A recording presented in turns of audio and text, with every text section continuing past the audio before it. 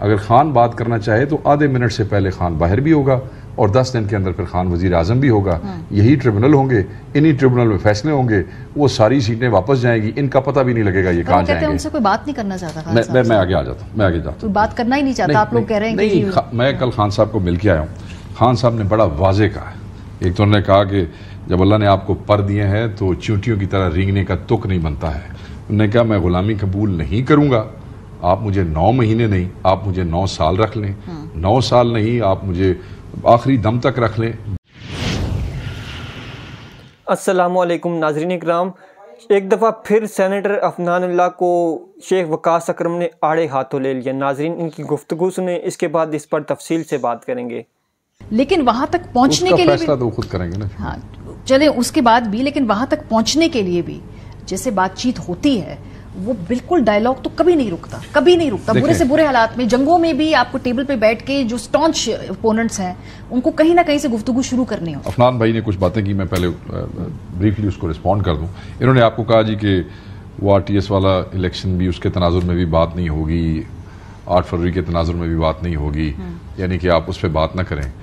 तो ये जो भी बारह इलेक्शंस के साथ इन्होंने पंजाब में किया, क्या उसके तनाजर में बात हो सकती है? जिसको ये समझते हैं कि जी मैच नहीं किया फॉर्म 47 45 मैं ये समझता हूँ कि आठ फरवरी को चोरी हुई थी और ये जो अभी बाई इलेक्शन हुआ है, इसमें बदमाशी, डकैती और ब्लेटेंट बेशर्मी के साथ किया गया, जो कुछ किया गया है। उसकी वीडियोस मौजूद हैं, मेरे भाई हैं, समझदार हैं, इन्होंने खुद कहा रात है ना, इसको दिन तो नहीं कह सकते।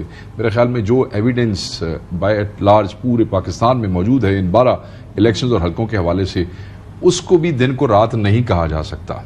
तो मैं ये समझता हूँ कि क्योंकि पिछली दफ़ा जो मामला 47 के ऊपर किया गया था और 47 वाली चोरी पकड़ी गई और खुलेआम आ गई तो इस दफ़ा उन्होंने फॉर्म 45 एंड 46 के हवाले से इवन बिफोर इलेक्शन तीन दिन पहले बड़े उन्होंने ऑब्वियसली एक स्किट जो है वो बार बार तो नहीं ना चलता होता जी। एक तरकीब एक इलेक्शन में चलती है जब वो नज़र आए तो दूसरी दफ़ा दूसरी करनी पड़ती है।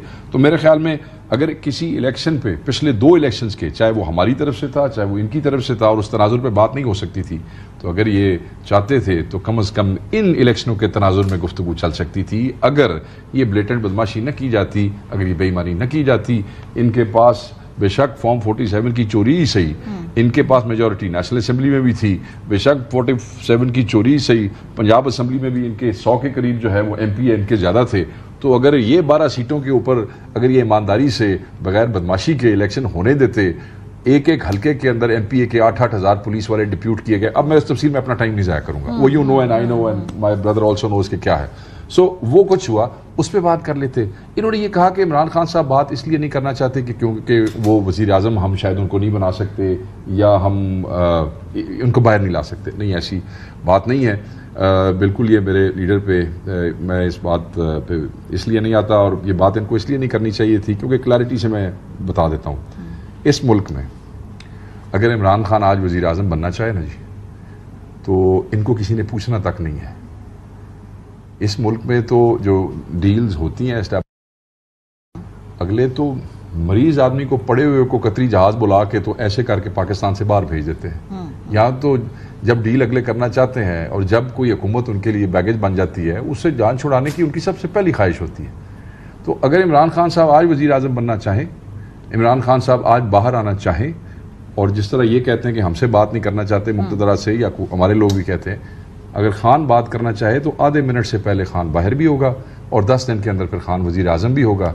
यही ट्रिब्यूनल होंगे इन्हीं ट्रिब्यूनल में फैसले होंगे वो सारी सीटें वापस जाएँगी इनका पता भी नहीं लगेगा ये कहाँ कहते हैं जाएँगे। उनसे कोई बात नहीं करना चाहता मैं मैं मैं आगे आ जाता हूँ मैं आगे जाता हूँ। बात करना ही नहीं चाहता आप लोग कह रहे हैं नहीं, मैं कल खान साहब को मिल के आया हूँ।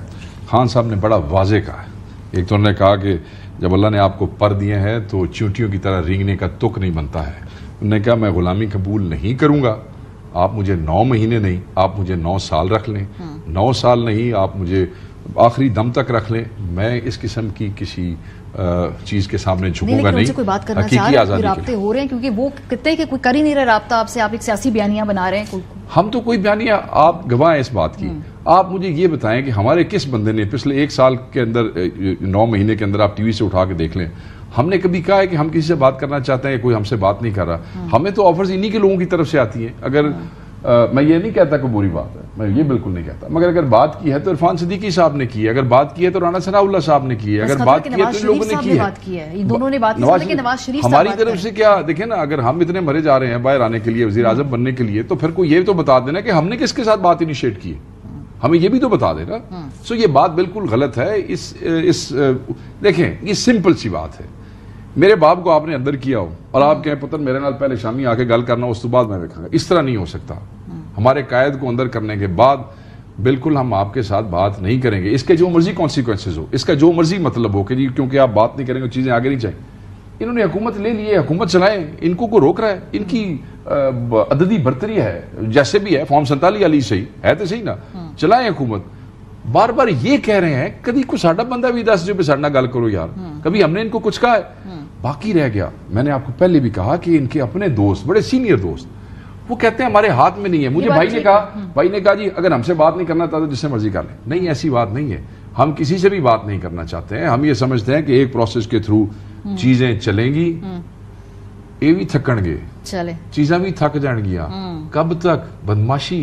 जबर जुल्म लाकानूनीत कब तक अच्छा so, के जो केसेस हैं उनकी फिर कोई बेसिस नहीं है कि अगर मुजाकरात की कुंजी है तो फिर मुजाकरात से बाहर आ जाते हैं मुजाकरात करके अंदर चले जाते हैं। देखिए बात ये है ये तो क्या स्टेटमेंट्स तो यही लग रहा है आप इस बात को डिनाई मतलब कर सकती हैं? हाँ। क्या आप इस बात को डिनाई कर सकती हैं कि 9 मई को पीटीआई ने हमला नहीं किया स्टेट इंस्टीट्यूशन से? ये अदालतें फैसला जल्दी से भी करके दे दें। देखिए छोड़ ये जो चीज़ें सब जुडिस है मैं मैं एक साल होने वाला है मैं चाहती हूँ कि फास्ट ट्रैक के फैसले सामने आ जाए। आप दो मिनट सब जुडिस को भी छोड़ दें। हम्म।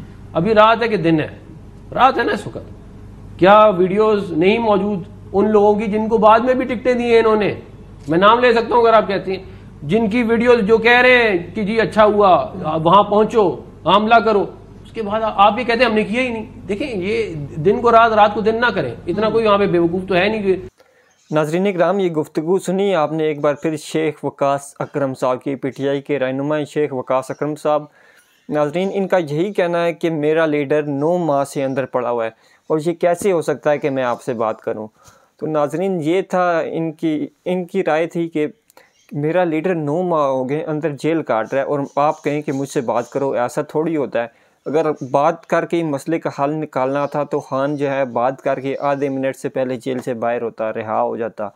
नाजरीन, ये है कि खान साहब जो हैं अब तक डटे हुए हैं अपने उसके ऊपर और ये जो है ना मुल्क के मुल्क की हिफाजत के लिए, क्योंकि ये मुल्क जो है ना जिसके हाथों में आप भी उनको जानते हैं तो नाजरीन खान साहब ने यही कहा था कि मुल्क को आज़ाद करवाएँगे। हम आवाम के साथ आवाम जो है ना इस वक्त बहुत बड़ी ताकत है खान की। तो नाजरीन, जो भी मसला होता है, खान जो है आवाम के सामने रख देता है।